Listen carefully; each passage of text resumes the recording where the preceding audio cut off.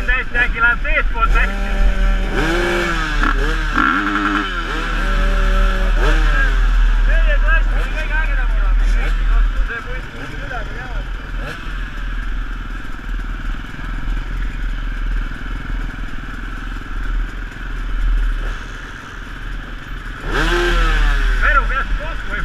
Yeah.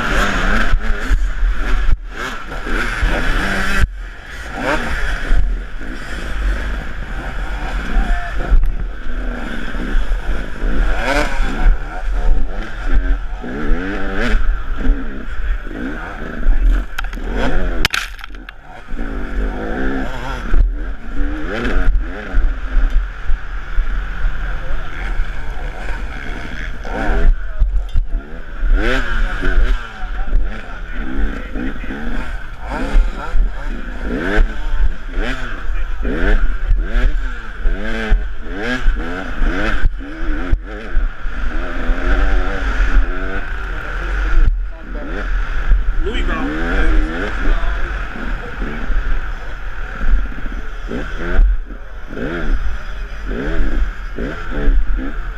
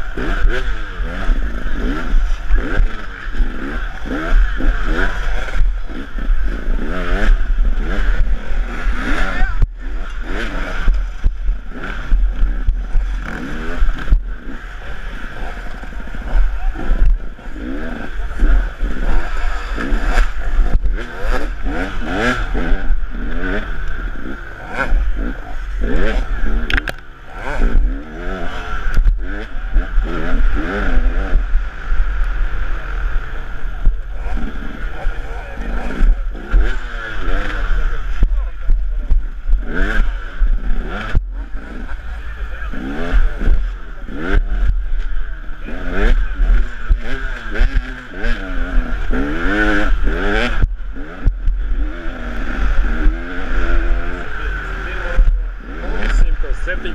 numurs.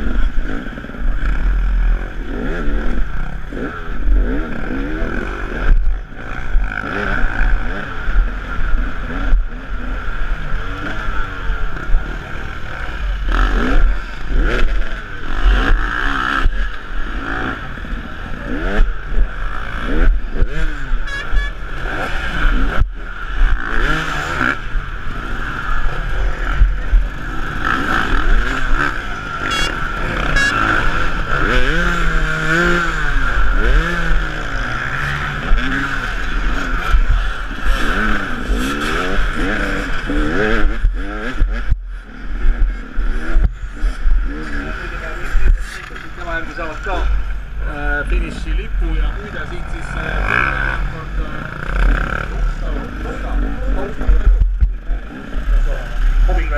jah, kuivõrd nüüd äh, sai Uustalu seal Võrust mööda, siis see tähendab seda, et Uigal ja Võru kokku sada kuni punkti ja Uiga viimase sõiduvõidu võrra läheb ikkagi koondanud kõrgemale astmele ja Võru teine ja kes on kolmandaks, siis tuleb Uustalu tulebki kolmandaks, sest Timmi on kurat niimoodi läbi. sellest rivi on joonud küll ja täitsa tannapool